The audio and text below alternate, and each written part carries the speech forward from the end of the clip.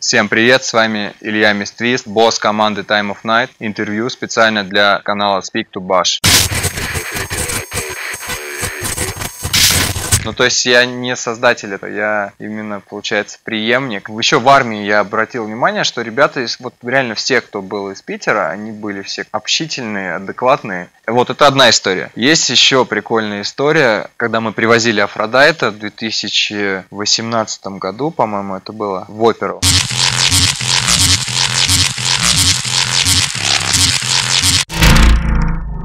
Я в детстве любил очень музыку слушать, и с самого детства братик мой старший Роберт включал мне разные прикольные треки. Ну, то есть у меня мое детство выпало на 96-й год, примерно, мне было 6 лет в 96-м. Вот, тогда выходили как раз грандиозные альбомы Prodigy, тем известные. Вот. И это вот прям у меня первая вспышка того, что я почувствовал, что это, эта музыка, она меня прям приводит в неистовое движение. Вот. Я там и танцевал под нее, и даже на дискотеку ходил.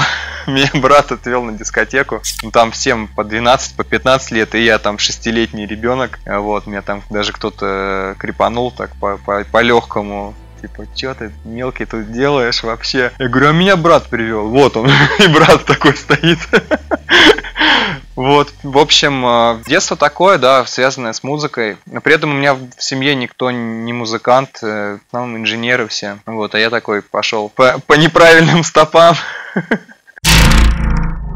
Я родился в Риге в 90-м году, перед развалом Союза. А, у меня там до сих пор родственники живут, бабушка с дедом в Риге. В 96-м году а, так получилось, что у меня мама развелась с моим родным отцом, он вообще из Грузии. Отец остался в Грузии, мама осталась со мной в Риге. Вот. В 97-м году она познакомилась с моим отчимом, а, и он, в общем-то, нас увез в Москву. С 97 -го года мы там, получается, жили до 2000 2000 до 2009, по-моему, да, как раз в 2010 я уже приехал в Питер. Но они там до сих пор живут. Вот, то есть для меня есть три родных города. Это Рига, Москва и Санкт-Петербург уже. В Питере я уже больше 10 лет, получается.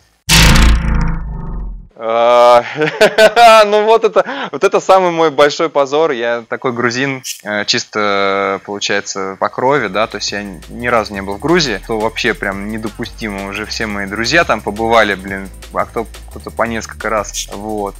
И я еще так до сих пор и своего отца родного не увидел вот в реале. То есть мы там с ним общаемся периодически на Фейсбуке, еще где-то. Все зовет в гости. И вот я пытаюсь, планирую поехать, и какая-нибудь херня происходит. Вот последний раз это коронавирус долбанный.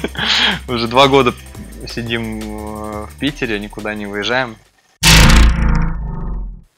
Периодически говорят. Ну, вообще, это такой момент, что Жена изначально на мою вечеринку первую пришла. Даже, точнее, не на мою первую вечеринку, а ее первая драм бейс вечеринка была моя. И мы тогда еще не были знакомы, пересматривали фотографии 12 -го года, по-моему. И обнаруживали, что она ходила на тусы. Я там где-нибудь на заднем плане сижу, там что-нибудь делаю, рулю там контроллером, виджей, и так далее. Вот, то есть у нас на почве музыки никаких с ней конфликтов нет, это вообще стопроцентное взаимопонимание. А, вопрос, конечно, связанный с деньгами, когда есть э, проблемы, да, например, был этот корона-кризис, он и сейчас, в принципе, идет. Э, да, был момент, когда пришлось под, под это подзатянуть гайки, но да, я ищу какие-то варианты там работы, подработки.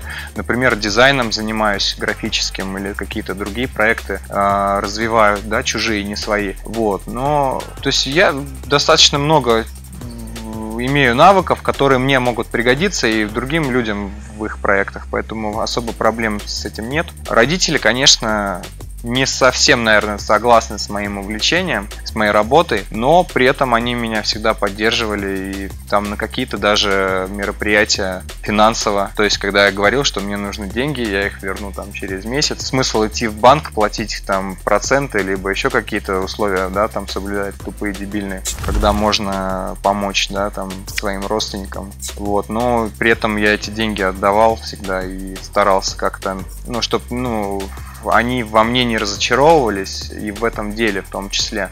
Но они понимают, что это дело моей души. Это именно то, чем я хотел бы заниматься. Это изначально хобби, которое переросло уже в бизнес. Вот, поэтому они поддерживают, но не особо прям так, чтобы, знаешь, с большим рвением. Но, тем не менее, вот, мой ник. А, изначально я хотел себе придумать никнейм, который бы, в принципе, был уникальный то есть его бы не было на сцене. И я начал перебирать, перебирать варианты. Там у меня был в детстве никнейм, я в КС играю и играл, э.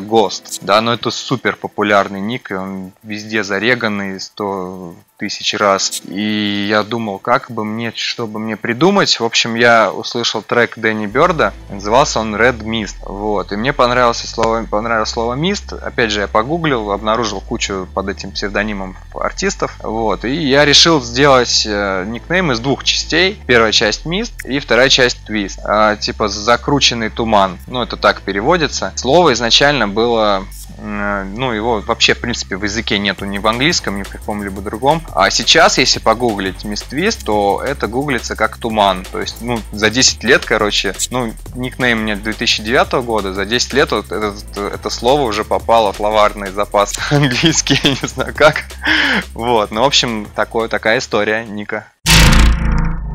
Насколько я помню, вообще изначально это название придумал Артем Нью, Ньюрок и его девушка Люся. Вот, и когда мы с ними познакомились в 2011 году на вечеринке как раз Time of Night, это был э, февраль 2011, маленькое уютное местечко Summer Bar на канале Грибоедова. Мы там познакомились, и Тёма предложил мне помочь ему с этим проектом заняться. Честно говоря, вот именно историю названия, почему так, я думаю, что можно спросить у них, почему они решили так назвать промо-группу. Но мне это понравилось на тот момент. А, изначально нет. Ну, то есть я не создатель этого, не основатель проекта, я именно, получается, преемник. Ну, ты знаешь, бывают моменты, когда ты придумываешь какой-то проект, а потом он просто запарывается или не идет дальше, не развивается. Тут история была другая, что ребята придумали проект, но они не захотели его масштабировать, а мне захотелось это делать. Илья в 2005 году учился в 10 классе.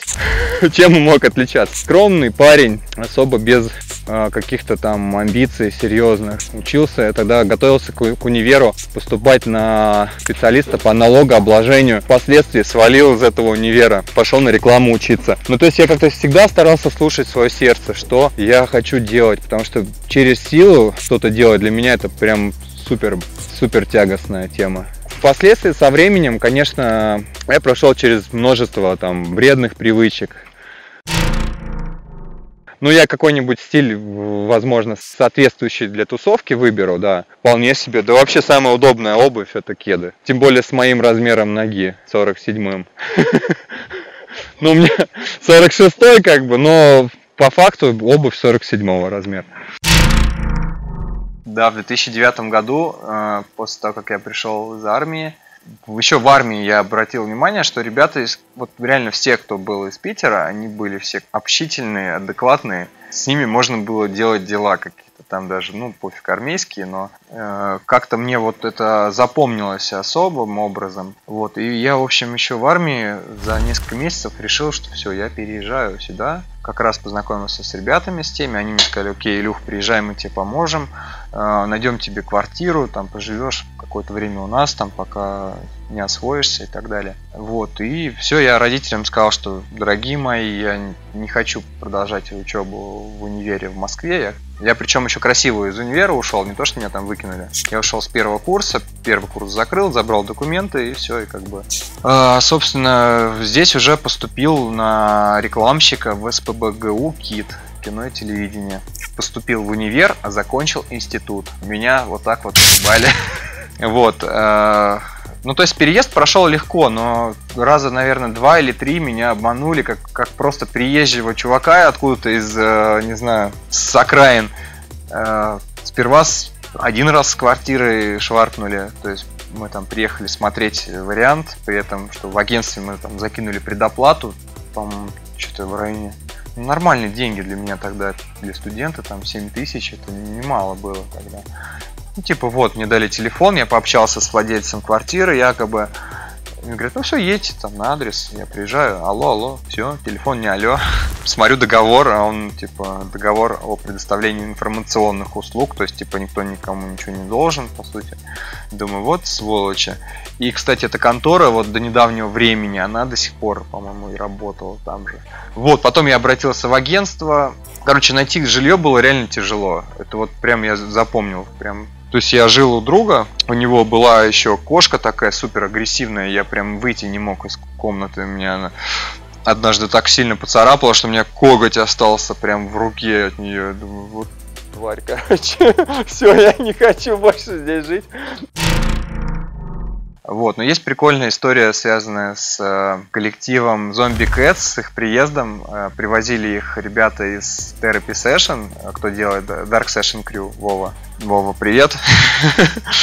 вот, и Вова мне позвонил, сказал, Илюха, выручай, нужно с ребятами провести время, они приехали на фестиваль, э, ну, типа, у нас вообще никак не получается с ними пересечься, там, надо, в общем, их отвезти покушать, отведать кухни русской и как-то немножко поразвлечь. Мы с Олегом, с моим другом, э, такие думаем, окей, хорошо, погнали.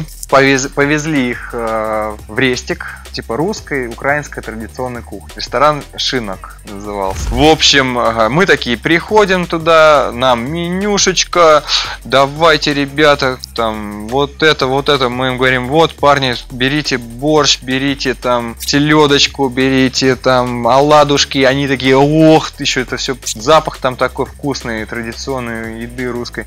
Вот, а у них еще такой прикол, зомби Кэтс, они, э, это два чувака, один из Австрии, а второй из Австралии. И они, короче, вместе пишут музло. Ну и тот чувак, который из Австралии, он в Австрии сейчас живет. И, ну, в общем, они круто по-английски разговаривают. Мы вроде тоже там более-менее как-то. Вот. Э, они заказывают, мы, мы заказываем там и горилки, там, и водочки, там, все. Мы уже через, часа через три такие хорошие. Все думаем, ну ладно, уже пора ребят в отель отвозить. Э, просим счет, нам приносят счет, там в районе пятнашки получилось.